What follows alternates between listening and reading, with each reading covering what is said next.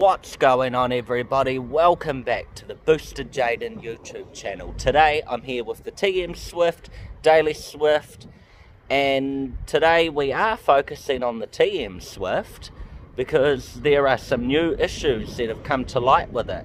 Let's get into that video. It's very windy today, but we need to do this. TM also has a water leak. It's leaking coolant which I never realised, but this tank is fully empty. The radiator's probably a little bit too warm to open at the moment. I don't know, let's check our temperature on the Greddy iTouch. That'll tell us what our temperature is, and if it's under 30, then I should be able to... Okay, no, look, look, look. TM is going to actually lose her hood. So what I need to do more importantly is I need to quickly whip this bumper off. It's already sitting off. I've already undone all the bolts to save some time. Put yours in the pod. I'll sit it there like that and I'm just literally going to pull the bumper off. Alright, so we're going to have a look underneath it.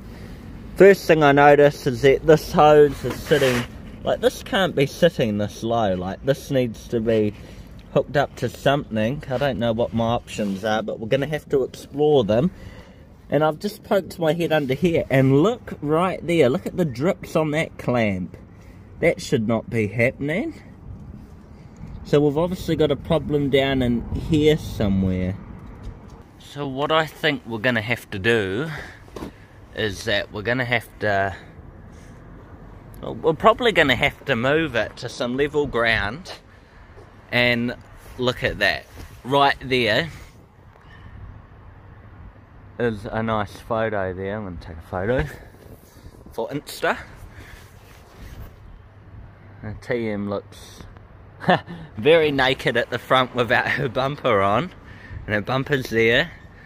But yeah we need to fix that leak. So what I've actually done is I've gotten some coolant which is in the, the lockup there and I've also gone and picked up some proper cooling system water because I don't approve of using tap water, not of all in this car, just to be safe, want to make sure that it's getting the correct coolant and that kind of stuff, fluids, water, whatever.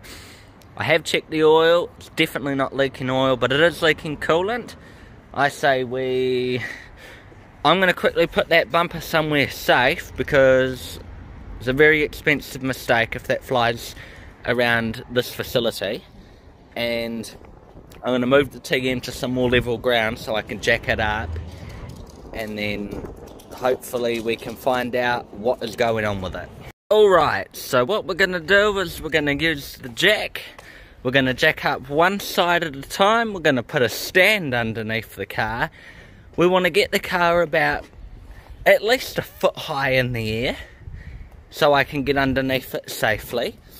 And then we're going to have a look at what the hell's going on with this leak. So I think what I might do is I might do like a hyperlapse of the car getting jacked up. I think it'd be far too boring watching me do it, you know, on, on normal camera.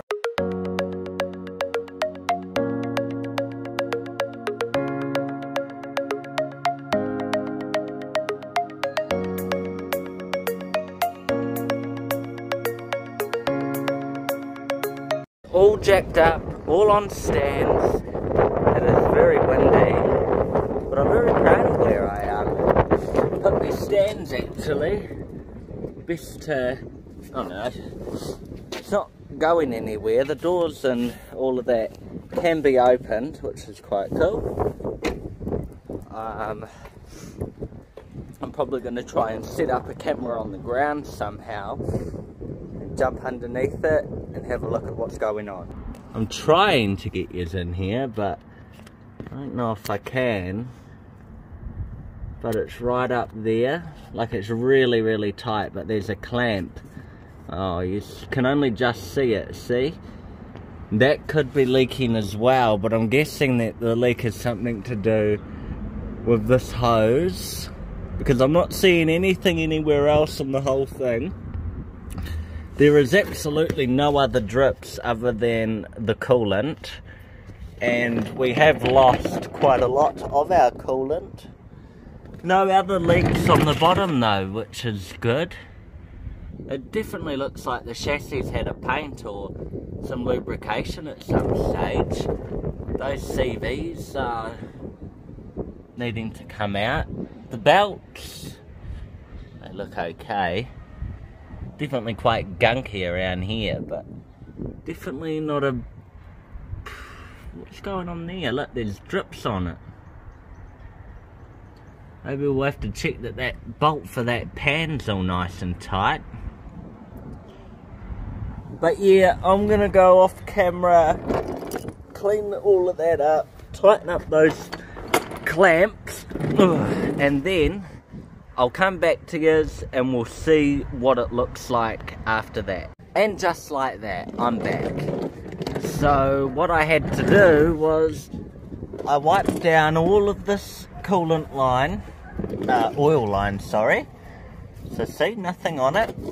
I get underneath it. Oh, I'm struggling to get back underneath it. Bear with me a second. Uh, this one was completely loose. Look at this. Look, there's not even any water in it. That one up there, loose. And then I have a little look around and a poke around, and I'm like, you know, just randomly checking bolts randomly. Right here by the fan belt, look, I can undo it by my hand. What's this all about? Bolt problems with TM? Like, this was an issue before I had it rebuilt, and it still seems to be an issue now. Literally shreds itself to bits. And check out that pan, that's been resealed before. It's got this too for the oil feed for the turbo. Custom pan, which, well, presumed it had it the whole time, but I've actually seen it now. The other thing was that I was having a poke around, these were loose, and they're not now. And I was having a little look over here, and look at how clean just the top part of this hose came up. It's meant to be this nice blue colour, but it's all covered in this crap on it, which makes it look ugly.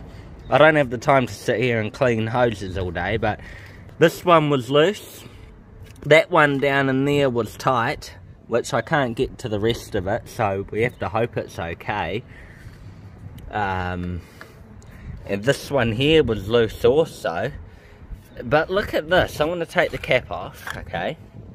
Cap's right there and I'm going to squeeze the hose. Look, I'm squeezing the hose and nothing's even happening to the water. Like, it, it's not even, the coolant's not even getting to the hoses. So what's that all about? We're going to top it up now and hopefully it'll be alright. For our water, we're going to be using the the Nulon radiator and system cooling water. I just couldn't bring myself to put, you know, standard water in the radiator so I went and got some from the auto parts store We're going to position yours right here we're going to top up that radiator and then we're going to top up the coolant expansion tank. I hope you can see it. That's the best I'm going to be able to do unfortunately. So suppose I'm going to carefully pour my water in. We'll see how much it uses.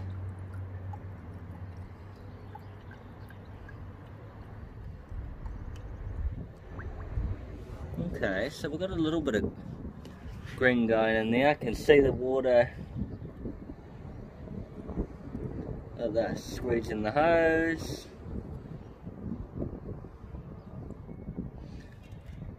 It's all getting sucked up again.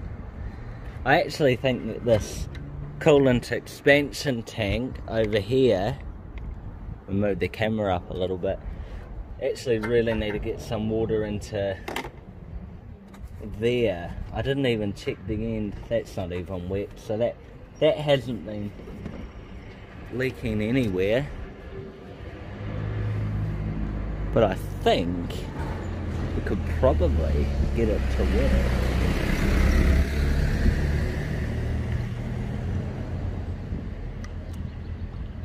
And we get a lot of visitors here at the unit, which is very annoying for my channel. But we're trying to fill it right up to the top. I'm going to put the water coolant in here now.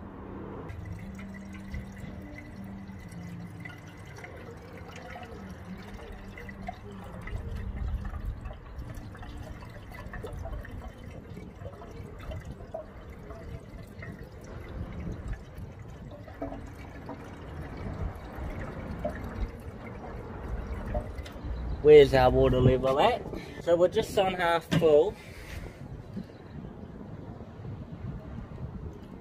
Pull that radiator back up again.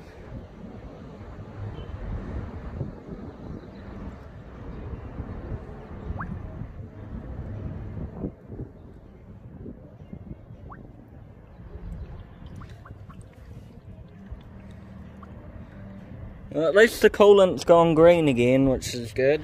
And we'll put a little bit more water in the expander tank.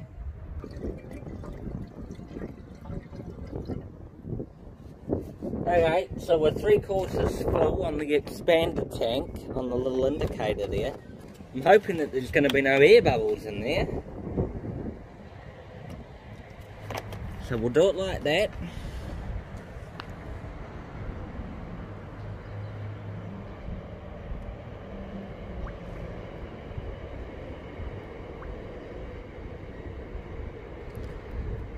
Don't know. Do you start the car with the cap off and let all the air bubbles come out? Or do you leave the expander tank off? Or do you just let it do its own thing naturally?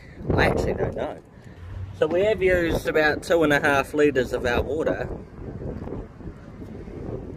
Which was not a part of the plan.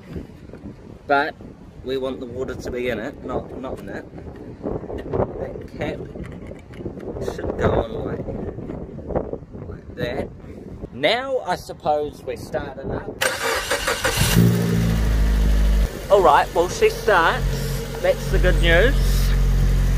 And she also isn't smoking too hard out, which is also good. Oh, I love that rumble, eh? It's so nice. My little Fiasco has not put any lights on the dashboard, thank God, apart from a seatbelt light and a brake light. 33 degrees is our temperature, water temperature. I'm hoping that we can get that to circulate pretty quickly if I'm being honest. We have got the heater on full so it should open up that heater core pretty quickly. And then yeah, it's just a waiting game now. I'm going to warm it up, see if it's leaking. If so, then we'll correct it from there. So I'm going to come back in a few minutes when it's warm, and hopefully this is a win. Alright, well it's been running for about 15 minutes now, and the temperature is currently sitting at 63 and it's otherwise running pretty good. It was shooting a lot of moisture out of the exhaust, but it has since stopped doing that. Still a little bit down in there. It smells funky, eh, but not bad bad. I've been waiting to feel a bit of temperature on the radiator, but the hoses are warm. And the fans are working, what I might do actually is we'll turn off the heater and see if we can actually get it to heat up a few more degrees.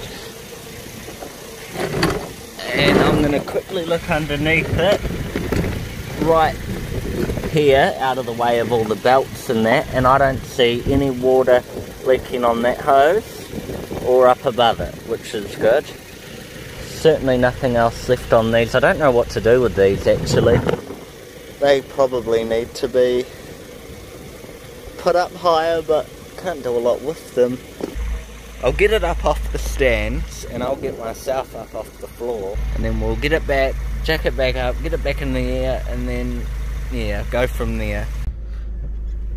Alright, well, I got TM all off the stands and everything, so we're gonna go take her for a quick little blat. I'm unsure if I'll be able to hold the phone because I am on my own today. I got no one to help me with the camera today. So, I don't know. We might come back or we'll just be back once I've already done it. Alrighty, we're back from our little blat. Well, my little blat. I have actually been sitting here for ages I took it for the drive and it ran and drove perfect actually. It's a shame that I can't stabilize the phone better and well the camera in the car better because you need to see what I see when I'm driving this thing, eh? She is a fucking beast. Anyways, I've been over the whole car. I've got to tighten that one bolt that we mentioned, the one down here, because that one is loose. And I'm very confident. Oh, I did use a screwdriver and I did try and make this intercooler look a little bit better because I think it looks ugly. But as the mechanic and the previous owner told me, that damage does not make any difference to the way that it would perform. So that's all I care about really. CTM's bumper has these little um, clicky things on it, which I never realised. I have put a cable tie up here, so see this ain't coming down so far low anymore, which is good. I just got to take those ties off. And then up under here, which is where our coolant hose is. I don't know I can get yours right in there or not, but see that? There's no drips on it. So I think that for now I think it's probably okay now. I'm hoping that I haven't missed anything but I've tried to be very thorough when doing this. So what I'm gonna do now is I'm going to take off those cable ties that are underneath the bumper and then we'll put the front bumper back on it. And I've opted not to take the one off the Daily Swift in there because TM has her bumper. I probably just need to be careful where I take it. So from today there'll be new rules on where she can and can't go. As for the water we're bang on the line right here. That's the line. There is a little um, thing here, so I'm going to take the cap off. And it's still full. And then if I squeeze the hose this time, remember when I squeezed it last time, nothing happened? Well look now, we've got green coolant. So I'm happy with that for now. Put it back together. I've checked everything else, everything's fine. Sort out that bolt, sort out those clamps, and then we're putting the front bumper on. What do you reckon a socket would be for an aircon pump? I reckon about, uh, I don't know, we'll take a stab in the dark and say a 12, like that. And then we'll take this one and we'll put it on the end of it here, like this. Mm really hard to do this stuff on camera actually but I'm trying I'm trying to learn. So here's our tool and here's our bolt. Mm, good guess. That one's fine.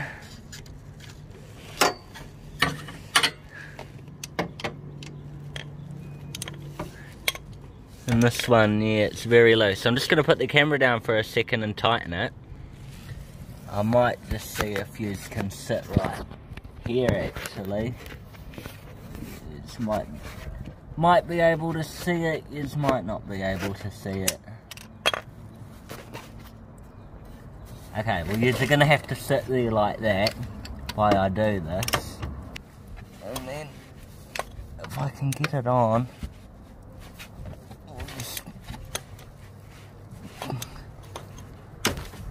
Oh, it's impossible to get this bolt.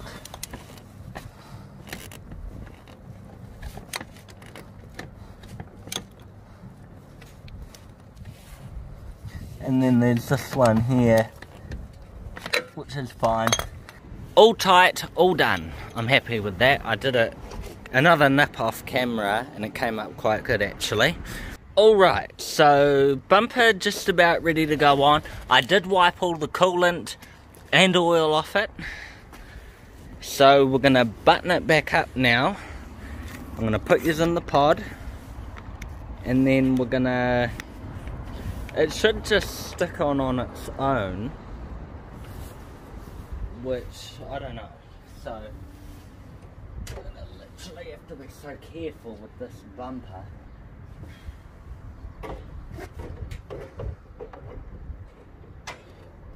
take it up under like this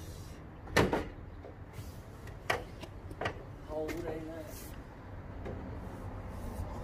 on that side and it's buttoned on that side. Check out that for a perfect fitment. So TM Squaresy has these um, JDM washer nuts and bolts, which I don't know. Some of them are some of them are good. Some of them are really shit. Actually, they they thread and you know you know the deal. We'll put this one in first, and at least we know she's not going to fall off on us. And number two would go there, which they all seem to be going in to where they should be okay. Should be able to get this one in right. TM. Quite like TM Squaresy. Okay, top one's in. We can try see if that one will fit, but... Mm, okay, well that one fits. These are the screws for the bumper, but when it came back from me from the mechanic after the rebuild, it had ones like this in it, which I don't really like those. I prefer to have them like this. So I'm going to go find another one of these, so that we can put these on both sides.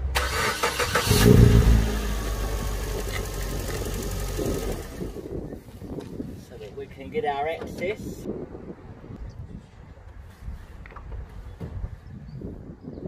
And then we better put some little clip things to hold the,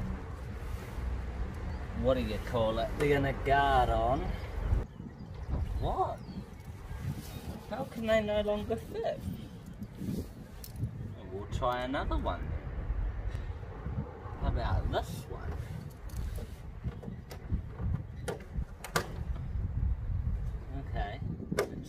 To be holding it. Number two. Alright, and that's that side fully way.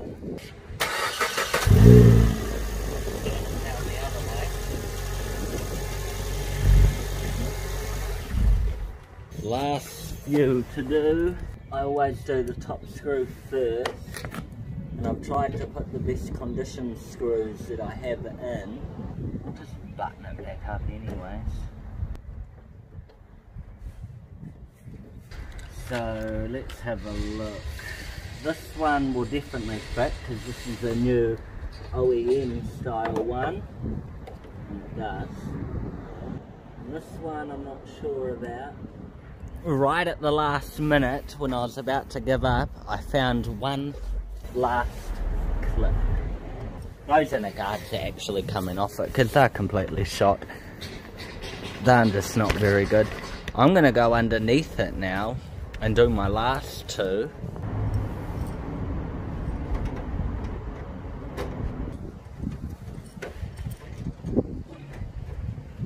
And that's the front bumper all reinstalled.